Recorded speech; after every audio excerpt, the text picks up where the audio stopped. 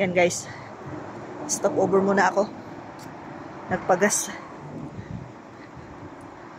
2 hours pa ang biyahe ko. 2 hours pa mahigit. Dito ako sa gasolinahan. Medyo nag-stretching.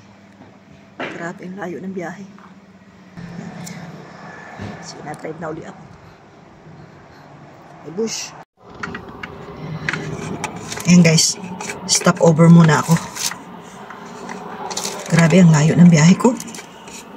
Almost 7 hours. Umalis ako ng Auckland uh, 5.30.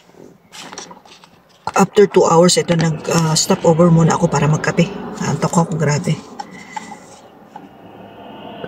Bale, five, more than 5 hours pa akong mag, magda-drive. So, yan, pahinga muna.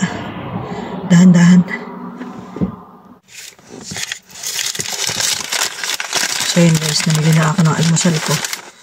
Sandwich. Namili na rin ako ng tubig. Ayan, di ba? Para, diretso na. Tapos may smoothies din ako.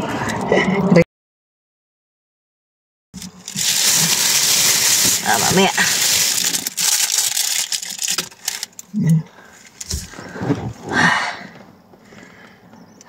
Thank you Lord. Kaya na pumala sa akin. Later guys.